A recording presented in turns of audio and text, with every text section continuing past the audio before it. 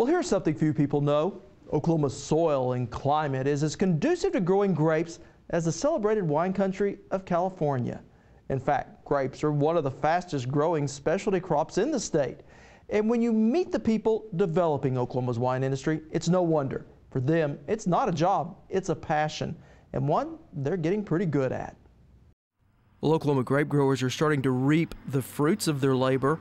What was once a tiny niche industry has quickly become Oklahoma's fastest growing specialty crop, thanks in great part to the relaxation of Oklahoma liquor laws in the year 2000.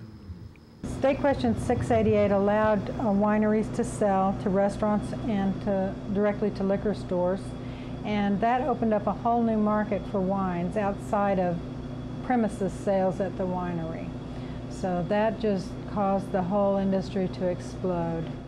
Jill Stickler is a member of Oklahoma's Grape Growers and Winemakers Association, an industry group that now has close to 50 members made up primarily of small farmers. This was a cattle ranch. My folks always ran cattle forever, and they wanted to get out of the business, and they offered it to my wife and I, and we said, thanks, but no thanks. We've, we've helped on the weekends, and that's been enough fun, but we have another idea.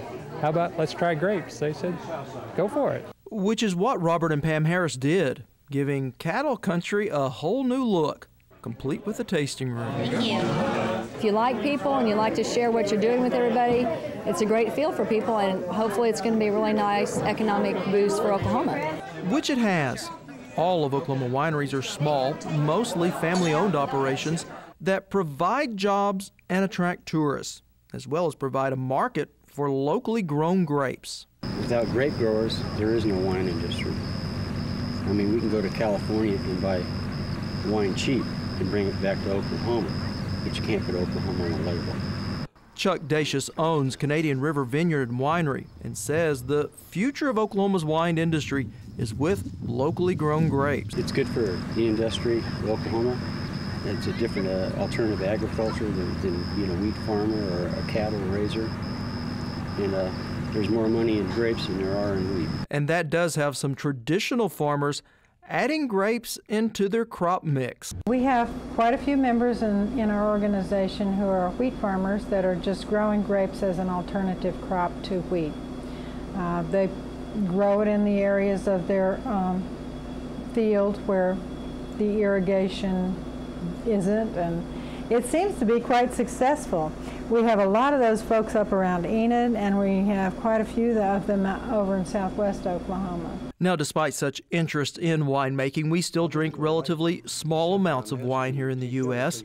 Annual per capita consumption in our country is just a fraction of Europe's. Over a year period, Americans will drink on average about two gallons of wine, but in France and Italy, it's seven times that. So, grape growers and winemakers know there's still plenty of room to grow. We're really trying to develop like they have in Missouri, the wine trails, so that you can spend the day, go to the wineries, and uh, you know make it a really great outing and stay in Oklahoma. And neighboring states have proven such a formula works. Each September, over 200,000 people descend upon Grapevine, Texas for their annual Grape Fest, which is good not just for the wineries, but for the entire economy. Tourism. The amount of people that we bring into each of the wineries that we have here in the city it's a big draw. Not only the festivals that we have, which we have three during the year, but just every day.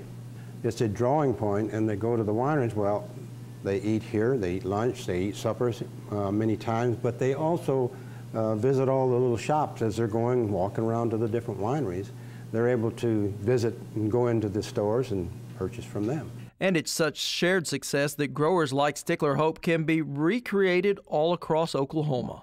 The more people there are in wineries and you know they can go together and work together to make wine trails and interesting things for people to do when they're touring. And there are people who who do nothing but tour wineries on their vacations. People enjoy seeing the crop period. They'll come to the they'll come to a winery just to see the vineyards and see the grapes growing and they want to participate in the picking and it, it's just really kind of a fun thing to do. And while Oklahoma's grape and wine industry is still in its relative infancy, those that have nurtured it over the years say they can't wait to see it grow up. I'm like totally engrossed with this. I love grape growing. I love the people. I love the environment. I love the lifestyle. Uh, it is a fun thing to do. It's hard work, but I've never met nicer people.